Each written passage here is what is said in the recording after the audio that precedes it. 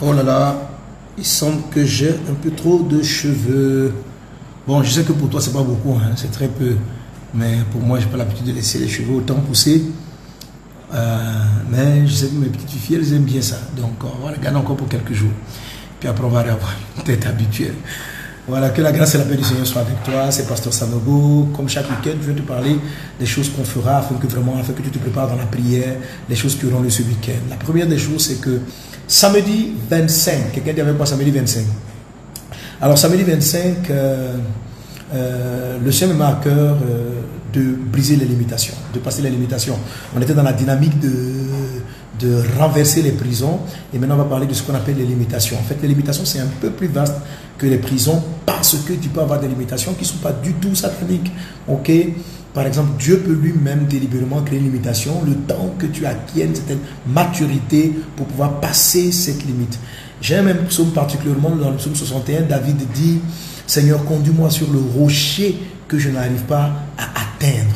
C'est une prière que j'ai souvent faite lorsque je me sentais limité, des choses que je sens que je dois atteindre et je n'arrive pas à atteindre. Ce n'était pas un blocage satanique ou démoniaque, mais des choses que je voulais atteindre, je n'arrive pas à atteindre. Et chaque fois, le Seigneur me fait passer par un process et il me conduit dans cette dimension. Je vois le Seigneur te conduire à briser cette limite actuelle. Tu sens que ton temps à cette étape-là est terminé. Une maladie aussi est une limite. Une maladie aussi est une prison, c'est une limite. Donc, tous ceux qui sont concernés par euh, ces différents types de sujets relatifs aux limitations, ne manquez pas le samedi des miracles. Alors, pour ceux qui viennent en présentiel, il y a un entretien avec les pasteurs pour mieux cibler votre problème et pour m'amener les sujets. Ok, c'est à partir de 17h. Mais le culte proprement dit va démarrer à 18h30 et je prendrai le temps de prier pour les malades. Amen. Voilà, ceux qui ont euh, le samedi 25, ceux qui ont leur île d'onction, leur huile d'onction pour laquelle on a prié en début d'année, n'hésitez pas à venir avec, ok? Venez avec, ok? Voilà, on va moins par rapport à la suite de l'année. Alléluia, on vient de finir les 12 jours de jeûne. Le temps est là pour nous de poser l'onction sur nous pour la suite de l'année.